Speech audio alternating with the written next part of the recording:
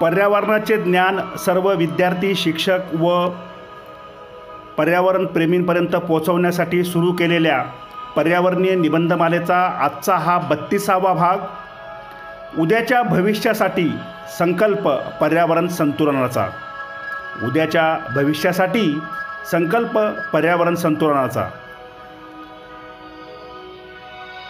आपण सर्वजण पर्यावरणाप्रती जागरूक होत आपली एक कृती पर्यावरण संतुलनाच्या चळवळीला मोठा हातभार लावू शकणार आहे.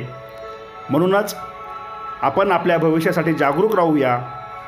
सगळ्यांना हे नम्र निवेदन आहे की आपण आपल्या पर्यावरणाचे रक्षण करूया आणि पर्यायाने आपल्या सजीव सृष्टीचे रक्षण करूया.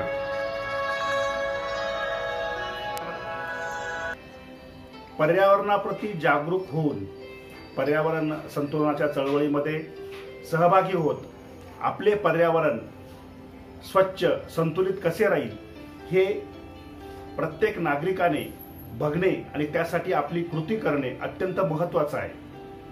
खरं म्हणजे शालेय विद्यार्थी शिक्षक तसेच पर्यावरण प्रेमी आणि अभ्यासकांना पर्यावरणाच्या संदर्भामधले काही महत्त्वाचे विषय उलगडून दाखवण्यासाठी पर्यावरणीय निबंधमाला ही व्हिडिओ मालिका सुरू करण्यात आलेली होती. सुरुवातीला वायू प्रदूषण ध्वनी प्रदूषण पर्यावरणाच्या समस्या यांचा विचार केल्यानंतर अनेक पर्यावरण प्रेमी तसेच काही माननीय तज्ज्ञ व प्राध्यापकांनी केलेल्या सूचनांनुसार पर्यावरणीय निबंधमालेची व्याप्ती आज बत्तीसाव्या भागामध्ये येऊन पोहोचलेली आहे. यापूर्वीच्या एकतीस भागांमध्ये आपण पर्यावरणाच्या संदर्भामधल्या असंख्य विषयांवर चर्चा केलेली आहे. त्यातले पैलू त्यातले संदर्भ समजून घेतलेले आहेत. खरं म्हणजे पाचवी ते बारावीचे विद्यार्थी आणि त्यांना असलेली समज याचा विचार करून या मालिकेतील सर्व विषय हे अत्यंत सोप्या शब्दात सोप्या भाषेत आणि त्यांना सगळ्यांना समजतील अशा पद्धतीने समजून सांगण्याचा प्रयत्न आम्ही केलेला आहे. या मालिकेचे स्वागत आपण सर्वांनी केलेले आहे.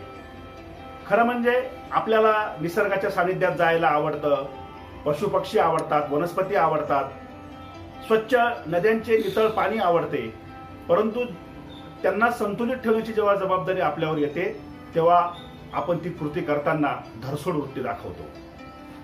आजकाल अनेक प्राणी पक्षी दुर्मिळ होत चाललेले आहेत नामशेष होण्याच्या मार्गावर आहेत.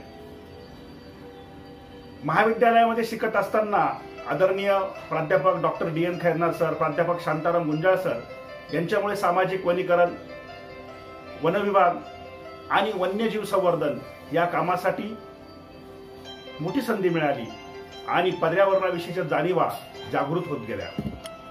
मित्रांनो एक दिवशी माझा एक मित्र मला भेटला आणि तो मला म्हणाला की मी जरा घाईत आहे मला थोडं जायचं आहे मी त्याला सहज विचारलं की तुला कुठे जायचं आहे तेव्हा त्याने सांगितलं की आमच्या शहराच्या जवळ एका गावामध्ये मोर आलेले आहेत आणि माझ्या मुलांना मोर मला दाखवायचा आहे.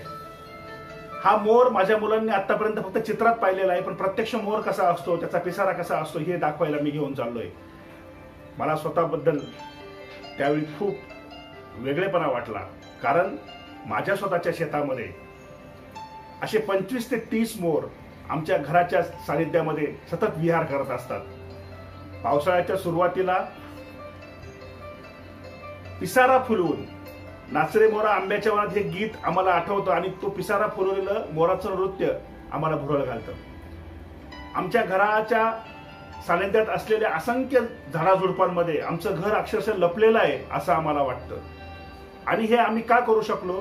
की पर्यावरणाप्रती वृक्ष संवर्धनाप्रती असलेली आमची जाणीव आणि पर्यावरण संतुलनासाठी काम करण्याची इच्छा. मित्रांनो माझी आपणास विनंती आहे की पर्यावरणीय निबंधमालेच्या ह्या एकूण बत्तीस भागांमध्ये अतिशय सोप्या शब्दामध्ये हे सर्व विषय प्राथमिक स्वरूपामध्ये उलगडून दाखवलेले आहेत. अभ्यासकांना ज्यांना या विषयात अजून खोलवर जायचं आहे त्यांच्यासाठी या क्षेत्रामध्ये प्रचंड संधी आहेत मोठ्या प्रमाणावर ज्ञान आहे. अनेक समस्या आहेत. या समस्या तुम्हाला जवळून अनुभवता येतील पाहता येतील खोलात शिरून अधिक अभ्यास करता येईल. परंतु प्राथमिक स्वरूपातलं हे ज्ञान घेऊन आपण पर्यावरणाप्रती संवेदना दाखवूया. मान्यवरांनी केलेल्या सूचनांनुसार लवकरच पर्यावरणीय निबंधमालेच्या या एकतीस भागांचे पुस्तक रूपाने प्रकाशन करण्याचा माझा मानस आहे. आपल्या शुभेच्छा पाठबळ माझ्यासोबत राहीलच. मित्रांनो काळ बदललेला आहे. आता असं वाटायला लागलं की एक दिवस आपल्याला सुद्धा मोठमोठ्या शहरांमध्ये ऑक्सिजनचं सिलेंडर पाठीला बांधून फिरावं लागेल की काय?